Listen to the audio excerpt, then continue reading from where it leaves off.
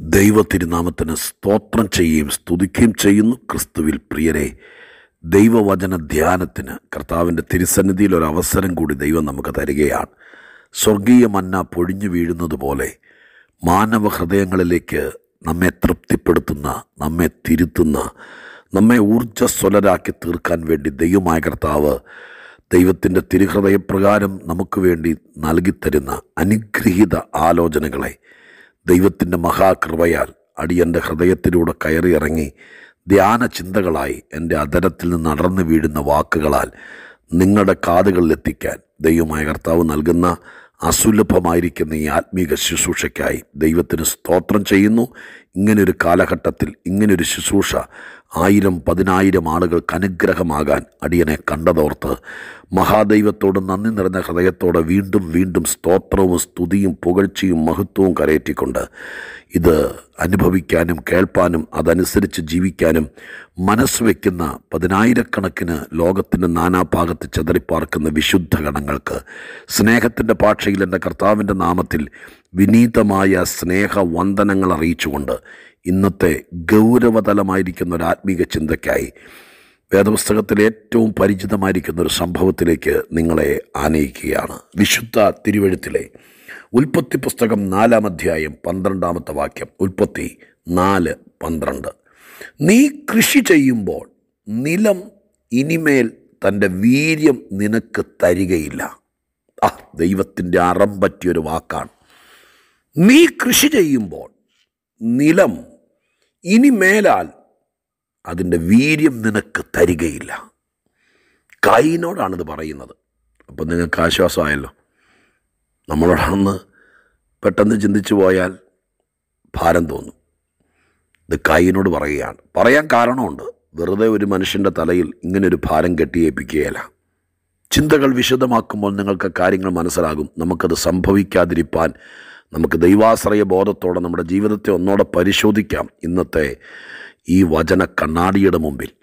കയ്യിന് നിങ്ങൾക്കറിയാലോ സഹോദരനെ കൊന്ന് വാശ തീർക്കാൻ ദൈവം ഹാബയിൽ പ്രസാദിച്ചു എന്നുള്ള കാരണം കൊണ്ട് ആ കയ്പും വൈരാഗ്യവും മനസ്സിൽ വെച്ച് ആത്മീക വൈര്യം ശരിക്കും പറഞ്ഞാൽ ലോകത്തിൽ ആദ്യം ഉടലെടുത്ത വലിയ പ്രശ്നം കുടുംബ പ്രശ്നമല്ല അയൽവക്കക്കാർ തമ്മിലുള്ള പ്രശ്നമല്ല. ആത്മീക വിഷയമാണ്. ആരാധനക്കാർ തമ്മിലുണ്ടായ പ്രശ്നമാണ്. ഞാൻ പറയുന്നത് ശരിയല്ലേ? ആദ്യത്തെ കൊലപാതകം ആദ്യത്തെ വഴക്ക് ആദ്യത്തെ രഹസ്യ അജണ്ട എന്ന് പറഞ്ഞാൽ മനസ്സിൽ വെച്ച് പെരുമാറിയ ഗൂഢാലോചന ഇതാദ്യം നടക്കുന്നത് ആത്മീക വിഷയത്തിലാണ്. ആരാധനാ സംബന്ധമായ വിഷയത്തിലാണ്. ദൈവത്തിന്റെ മുമ്പിൽ പ്രാർത്ഥനയ്ക്കും ആരാധനയ്ക്കും വന്നതിന്റെ അനന്തരഫലമായുണ്ടായ ആ വൈരാഗ്യം കൊണ്ട് അസൂയ കൊണ്ട് ഉരുത്തിരിഞ്ഞതാണ് മാനവ ചരിത്രത്തിലെ ആദ്യത്തെ നിഷ്കാസനം ചെയ്യപ്പെട്ട അരുങ്കൊല. കഥ നിങ്ങൾക്കറിയാം അഥവാ ചരിത്രം നിങ്ങൾക്കറിയാം. അത് ഞാൻ വിശദീകരിക്കേണ്ട കാര്യമില്ല. ഹാബേലിനെ കൊന്ന കായിനെ ദൈവം നേരിട്ട് പിടിക്കുകയാണ്. പിടിച്ചു നിർത്തി കാര്യങ്ങൾ പറയുകയാണ്. ദൈവത്തിന്റെ പോളിസി അവിടെ വെച്ച് തന്നെ വേണമെങ്കിൽ ദൈവത്തിന് അവനെ ചുമ്മാ കഴുത്തൊടിച്ചൻ കൊന്നു കളയായിരുന്നു. അല്ല ഞാൻ എന്റെ ഭാഷ പറഞ്ഞെന്നുള്ളൂ. ചെയ്യാൻ വയ്യായിരുന്നല്ലോ. പെട്ടെന്ന് ആ എന്റെ കൺമുമ്പിൽ വെച്ച് ഇങ്ങനെ ചെയ്യാറായടാ. എന്നെ ആരാധിക്കാൻ വന്നവന്റെ മേൽ ഞാൻ പ്രസാദിച്ചതുകൊണ്ട് നീ അവനെ അങ്ങനെ ചെയ്തോ? എന്ന് ചോദിച്ചുകൊണ്ട് വേണമെങ്കിൽ അപ്പം തന്നെ അവന്റെ ഞരമ്പ് പൊട്ടിച്ച് അവനെ കൊല്ലായിരുന്നു. കൊന്നില്ല. കുഴഞ്ഞു വീണ് ചാവാൻ അനുവദിച്ചില്ല. ജീവിക്കാൻ അനുവദിച്ചു. പക്ഷെ ജീവിക്കാൻ അനുവദിച്ചപ്പോൾ ദൈവം ഒരു കാര്യം പറഞ്ഞു വിടുകയാണ് ഇവിടെ. അവിടെയാണ് പ്രശ്നം കിടക്കുന്നത്. എന്താ പറഞ്ഞു വിട്ടത്? ഇനി നീ കൃഷി ചെയ്താൽ നിലം അതിന്റെ വീര്യം നിനക്ക് തരൂല. അപ്പം ഈ കാ അവന്റെ വീട്ടിൽ എന്റെ സഹോദരനെ കൊന്നതും നിലവുമായിട്ട് എന്താ ബന്ധം? ബന്ധമുണ്ട്. അവിടെ വിഷയം.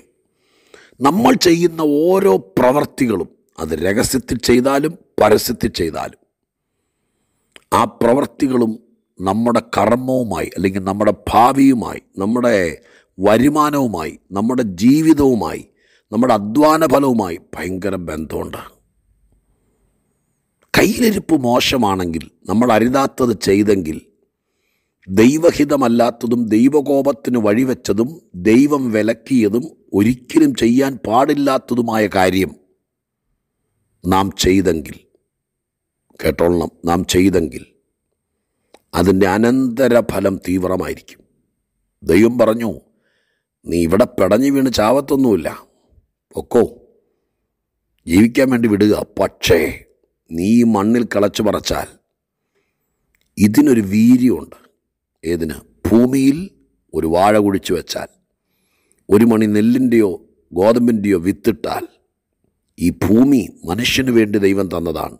എല്ലാ ഋതുഭേദങ്ങളും കാലാവസ്ഥയും മഴയും മഞ്ഞും കാറ്റും കുളിരും എല്ലാം കൂടി ഒരുമിച്ച് വന്ന ഇതുപോലെ സുന്ദരമായൊരു ഗോളം ലോകത്തിൽ വേറെയില്ല.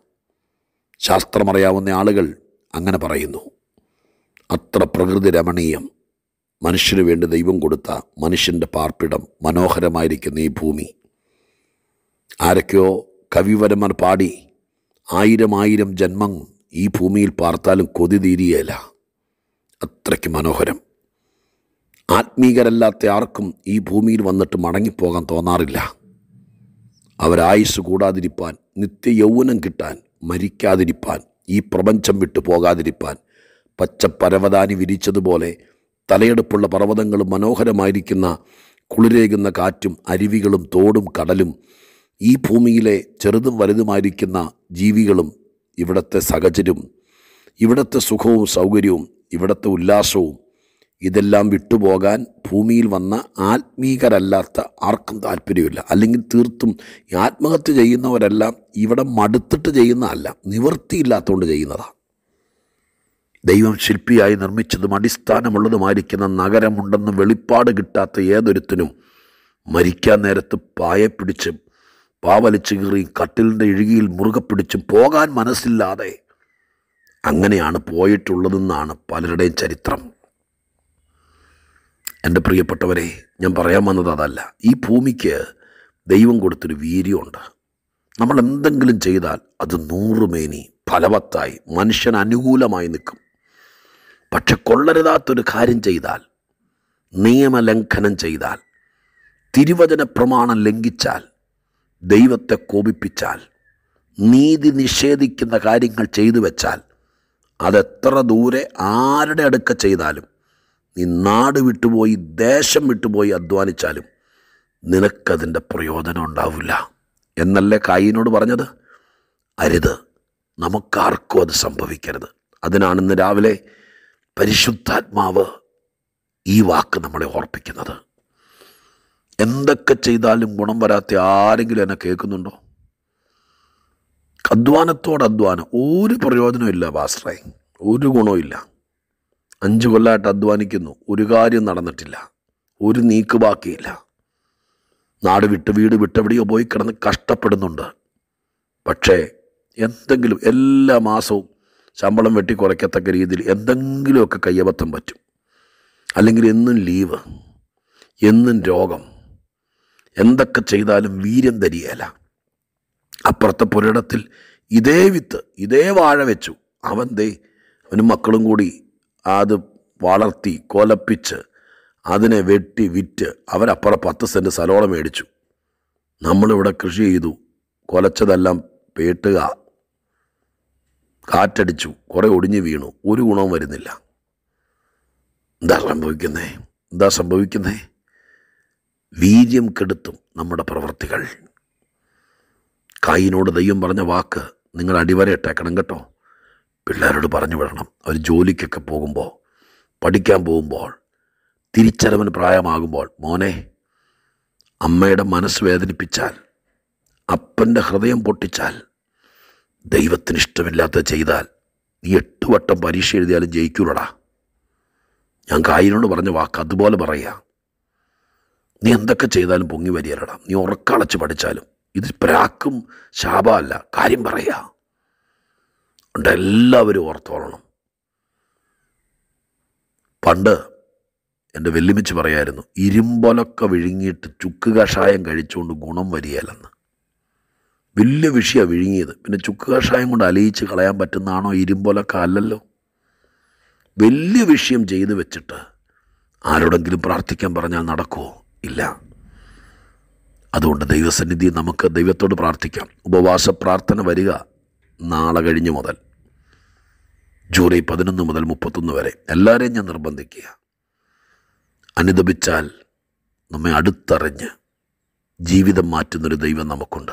കാര്യങ്ങളെ കീഴ്മേൽ മറയ്ക്കുന്നവൻ ആ ദൈവത്തോട് പറയണം. എന്തെങ്കിലും അങ്ങയുടെ കണ്ണിന് മുമ്പിൽ ഞാൻ പ്രവർത്തിച്ചിട്ട് എന്റെ കുഞ്ഞുങ്ങൾ അധ്വാനിച്ചിട്ട് വീട്ടിൽ നന്മ വരാതിരിക്കാൻ വീര്യം കെടുത്തി കളഞ്ഞ എന്തെങ്കിലും എന്റെ അപ്പനോ ഞാനോ എന്റെ മക്കളോ ആരെങ്കിലും ചെയ്തിട്ടുണ്ടെങ്കിൽ ദൈവം ക്ഷമിക്കണം. നന്മയുടെ വഴി തുറന്നു കിട്ടണം. ഈ വാക്യങ്ങളൊക്കെ നമ്മൾ വെട്ടിക്കളഞ്ഞിട്ട് നമുക്കിഷ്ടമുള്ള വാക്യം മാത്രം ഭിത്തിയിൽ എഴുതി വെച്ചിട്ട് കഥയില്ല കേട്ടോ. എല്ലാ വാക്യത്തെയും ശ്രദ്ധിക്കണം. എല്ലാ ദൈവശബ്ദവും ശ്രദ്ധിക്കണം. ഒരു വാക്കെങ്കിലും പ്രാർത്ഥിക്കണം. നമ്മെ തന്നെ ഒരുക്കണം. വീര്യം കെടുത്തുന്ന അധ്വാന ഫലത്തിന്റെ വീര്യം കെടുത്തുന്ന കഷ്ടപ്പാടിന്റെ വീര്യം കെടുത്തുന്ന എന്തെങ്കിലും പ്രവൃത്തി ഞാൻ എന്റെ സഹോദരനോട് ചെയ്തിട്ടുണ്ടോ? അവന്റെ മനസ്സുകൊണ്ട് വേദനിപ്പിച്ചിട്ടുണ്ടോ? എന്റെ അപ്പനോട് അമ്മയോട് എന്റെ ആത്മീക സഹോദരനോട് ആരോടെങ്കിലും ദൈവം മാത്രമേ കണ്ടുള്ളൂ. വേറെ ആരും കാണാനില്ല അവിടെ. ഇതൊക്കെ ചോദ്യങ്ങളാണ്. ആര് കാണാനാ? വേറെ മക്കളുണ്ടോ? ഒന്നും എനിക്കറിയില്ല. പക്ഷെ ഒരു കാര്യം ആത്മീകം പഠിച്ചിരുന്നു. വേണ്ടാത്തത് ചെയ്യരുത്. കൂമ്പടച്ചു പോവും. ചെയ്യുന്നതൊന്നും ഫലം കാണിയല്ല നമുക്കത് സംഭവിക്കാതിരിപ്പാൻ നമുക്ക് നമ്മുടെ ദൈവത്തിന്റെ അടുക്ക് ചെന്ന് പറയാം. അങ്ങയുടെ കണ്ണിന് മുമ്പിൽ എന്തെങ്കിലും ഉണ്ടെങ്കിൽ നീ ഇത് കേട്ടിട്ട് ക്ഷമിക്കണം. എന്നെ രക്ഷിക്കണം. ഇങ്ങനെയൊന്നും പറഞ്ഞു തരാൻ എനിക്ക് ആരുമില്ലായിരുന്നു. അബദ്ധം പറ്റിയൊരു കാലം എനിക്കുണ്ട്. ക്ഷമിക്കണമെന്ന് പറഞ്ഞാൽ നാം രക്ഷപ്പെടും. പ്രാർത്ഥിക്കാം. പരിശുദ്ധ ദൈവമേ ഞങ്ങളുടെ സ്വർഗീയ പിതാവേ അനുഗ്രഹീതമായ നല്ല ദിവസം. കൈനോട് പറഞ്ഞ വാക്ക് ഞങ്ങളെ ഒന്ന് ഉലച്ചു കർത്താവേ. ഇത് കേൾക്കുന്ന ആർക്കും ഒരു ദോഷം വരുത്തരുത്. അവരധ്വാനിച്ചാൽ അതിന്റെ കൂലി കിട്ടണം. കൃഷി ചെയ്താൽ അതിന് തക്കവണ്ണം അനുഗ്രഹം ഉണ്ടാവണം. ഒരു മൃഗത്തെ വളർത്തിയാൽ പ്രയോജനപ്പെടണം മക്കളെ വളർത്തിയാൽ ഗുണം വരണം. വീര്യം കെടുത്തി കളയുന്ന ഒന്നും ഞങ്ങളുടെ ഭാഗത്തുണ്ടാകരുത്. ഞാനൊരു പാസ്റ്ററാ ഞാൻ പ്രസംഗിച്ചാൽ അതിന്റെ വീര്യം ജനത്തിന് കിട്ടണമെങ്കിൽ ഞാൻ വിശുദ്ധനായിരിക്കണം. ഞാൻ ഏൽപ്പിക്കുന്നു. എന്നെ പുറത്തെ എല്ലാ ദൈവദാസന്മാരെ ഏൽപ്പിക്കുന്നു. യേശുവിൻ നാമത്തിൽ അപേക്ഷിക്കുന്നു. കേൾക്കണേ സ്വർഗീയ പിതാവേ. ആമേൻ.